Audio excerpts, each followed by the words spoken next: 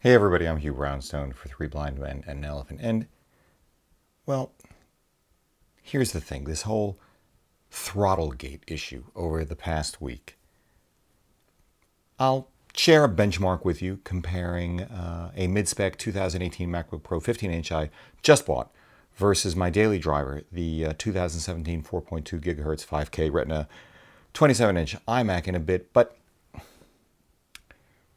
the overarching point I want to make is that what Dave Lee, along with other YouTubers like Jonathan Morrison, my friend Max Yuryev, and then on the other hand, Apple, have demonstrated this week goes way beyond the thermal throttling problem of the MacBook Pro.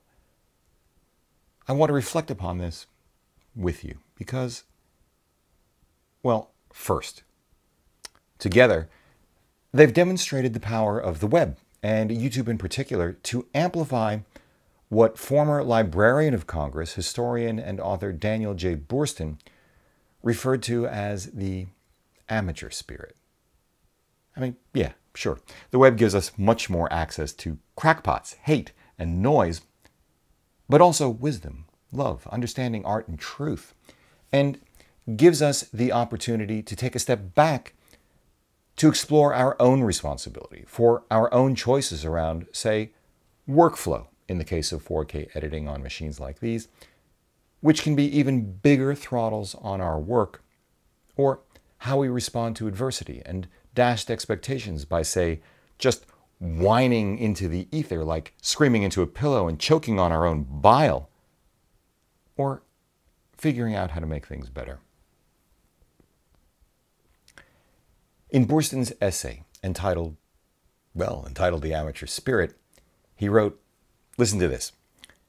I have observed that the world has suffered far less from ignorance than from pretensions to knowledge. It is not skeptics or explorers, but fanatics and ideologues who menace decency and progress. No agnostic ever burned anyone at the stake or tortured a pagan, a heretic, or an unbeliever. Which is maybe a bit heavy for a short segment nominally about an underperforming computer chip, but I already told you, this is about much more than that. Late in the same essay, Boorstin wrote this. My own experience has made me wary of the institutions, the ways, the attitudes of all professionals. With the good fortune to be permitted to be a historian without conventional credentials, I, Boorstin, have delighted in pursuing history for the love of it. This amateur spirit has guided my thinking and writing. Of course, we need devices to economize our intellectual sallies, and the professions can somehow serve in this way. But the rewards and refreshments of thought and the arts come from the courage to try something, all sorts of things, for the first time. These first time adventurers are the spice of life. An enamored amateur need not be a genius to stay out of ruts he has never been trained in. Which, of course, is really the point of the story of Srinivasa Ramanujan, the Indian mathematician played by Dev Patel in the movie The Man Who Knew Infinity.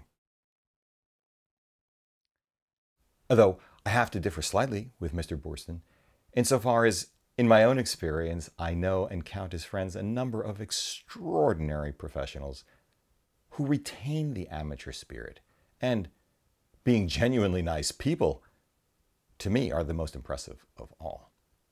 In other words, a few guys, by virtue of their curiosity, passion, intellect, discipline, ability to communicate, and okay, maybe the YouTube business model, managed to get the single most valuable company on the planet to respond, essentially, instantly to fix a problem.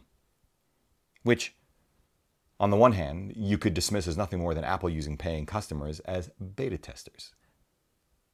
I understand. But on the other, speaks volume about Apple in a positive way because you and I both know plenty of companies who would do the exact opposite ignore disparage, deflect, or double down. As let's also admit, Apple has sometimes done in the past.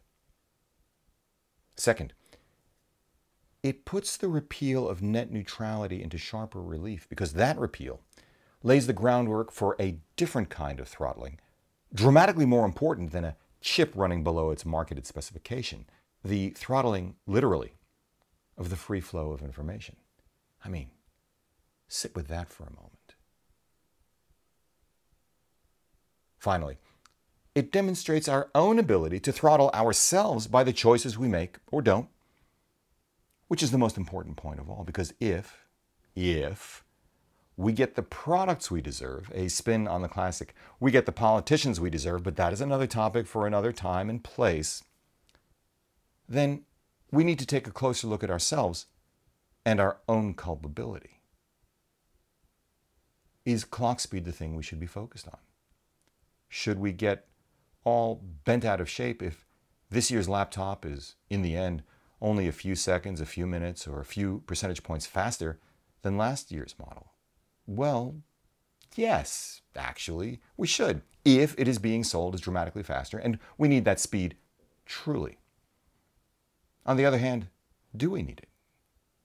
Do we need to be upgrading every year? And going a little farther afield over ground I've covered briefly before, yet part of the same ecosystem how excited should we really be that, say, the newest iPhone will let you represent yourself to friends and family as a talking pile of poo?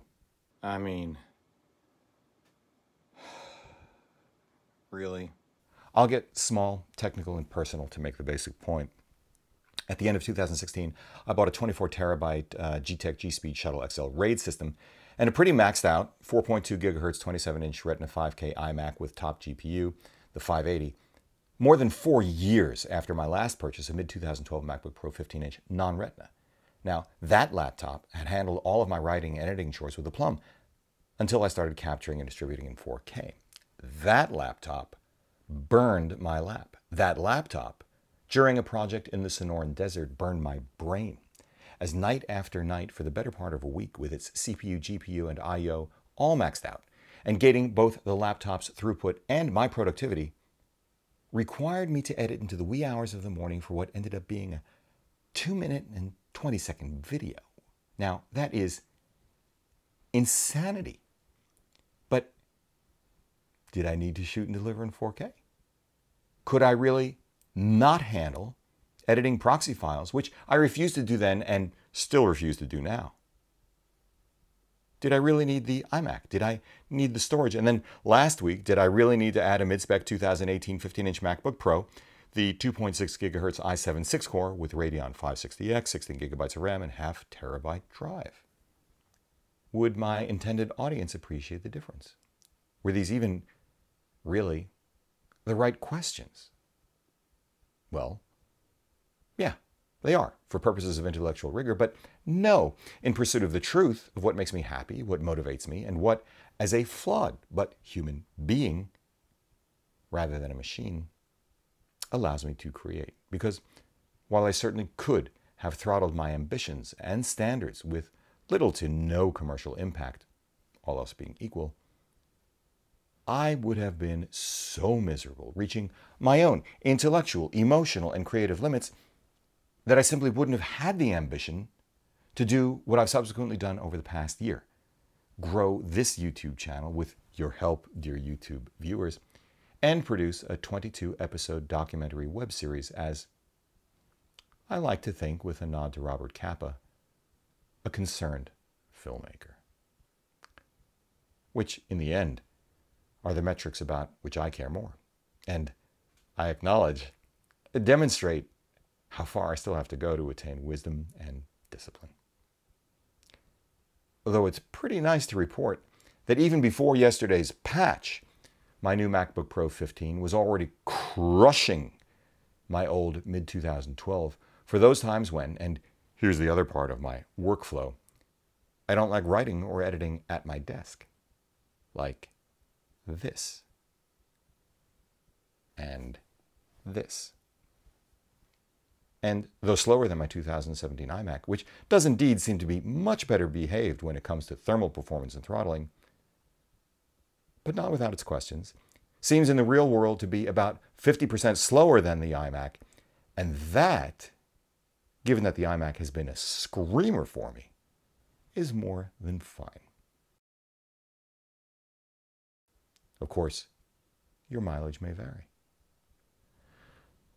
So, thank you, Dave, Jonathan, Max, and countless others for identifying the thermal throttling issue. Apple, thank you for jumping all over this and getting so quickly to a fix. Finally, thank you all, including YouTube and the people who created the web in the first place, guys like Bob Kahn and Tim Berners-Lee, for giving us the mechanism and impetus to think about other kinds of throttling that are actually far more important than the thermal throttling of a computer chip. I'm done.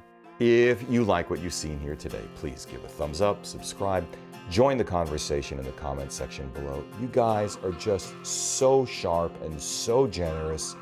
Just wow. Share, create a playlist, consider supporting our work by using our no cost to you affiliate links down below, or making a contribution directly via the PayPal link down below. As always, we thank you for it. For Three Blind Men and an Elephant, I'm Hugh. See you next time.